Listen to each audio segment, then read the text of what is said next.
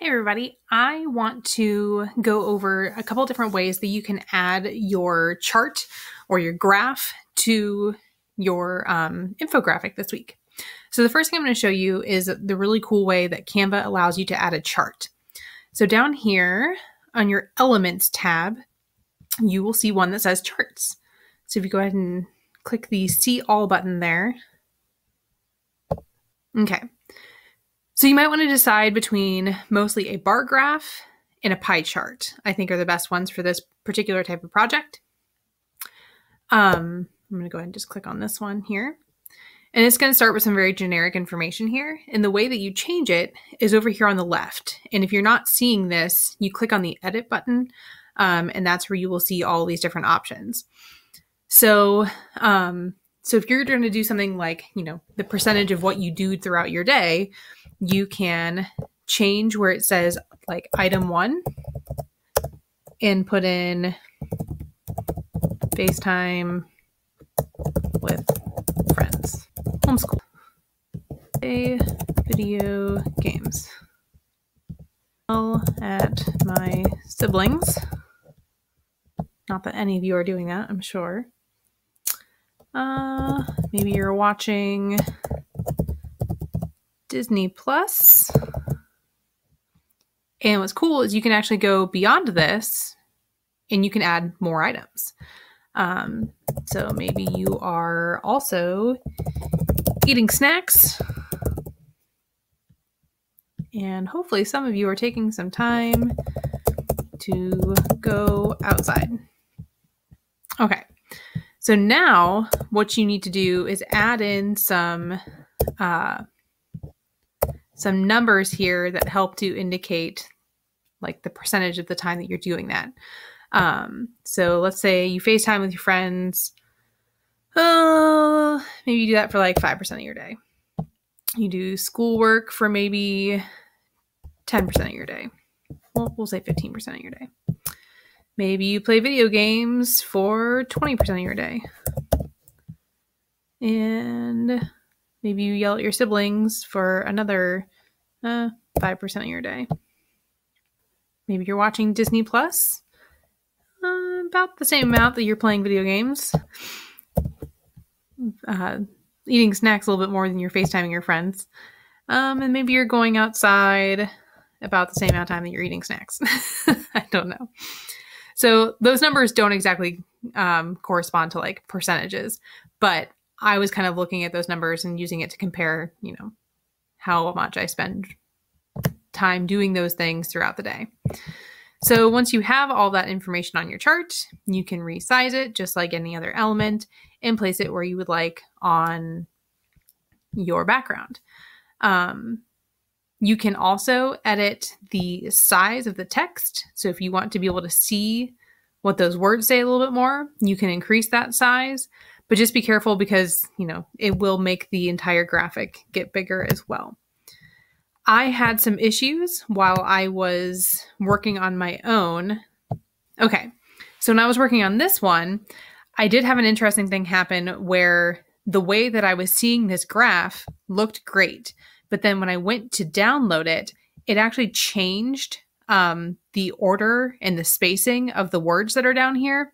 So, in order to fix it, I just had to go back in and edit the size of the text. And when I made the text smaller, everything fit a lot better after I had downloaded it. So, just letting you know, there's some little troubleshooting that might come your way, and that's one way that you can fix it.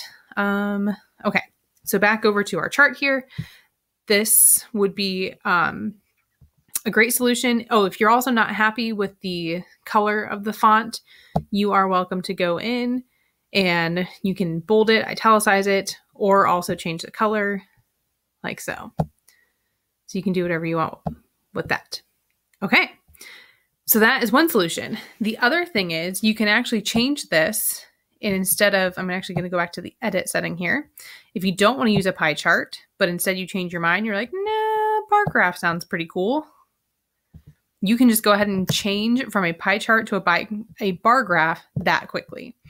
Um, so that is actually available in the edit setting right there. Um, a row chart is exactly the same. It just goes from side to side. So I think that actually looks really nice as well. So that is one option for your graph. The other thing is you can just choose a very basic timeline instead of a graph. I think sometimes I have some friends um, on social media who post a timeline of what they do throughout the day, and it's really funny sometimes just how trivial the things are that we're doing. So to make this go a little bit easier, I went ahead and typed out my timeline. I made one up as if I was perhaps an eighth grader. Um, I went ahead and typed one up on a se- separate document. Um, I'm going to go ahead and just add the smallest type of text here. And I'm going to use Control V to paste in my text. Ooh, buddy. And I just realized one thing it did that I'm not really fond of is it did not leave any of my formatting, like all the spacing and everything. So I still have to go back through here and put all of my my enters, my next lines. Okay. So we'll probably cut this part of the video so you don't have to watch me do all of this.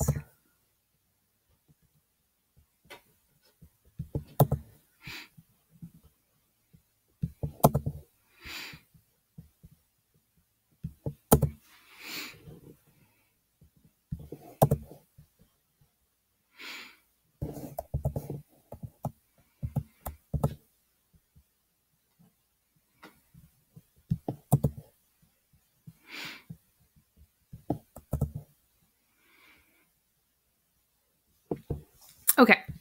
So, um, the best way to probably arrange my text for this sort of a dealio um, is to actually align it over.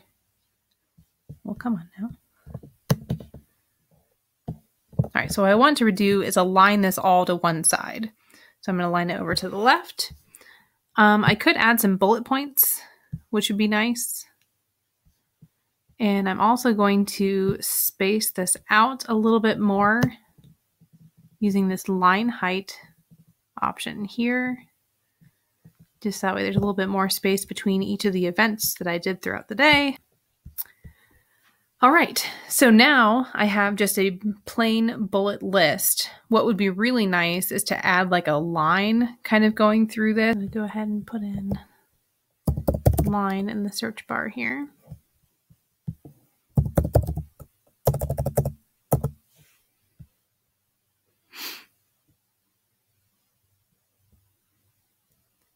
All right, fantastic. So now I can just go ahead and take this line, rotate it around.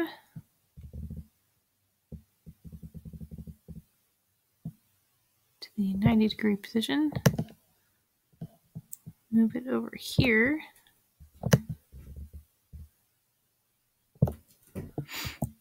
And I can actually, if I go over here to position, I can move it backward so it appears right behind those bullet points, which then makes it look like um, like a timeline.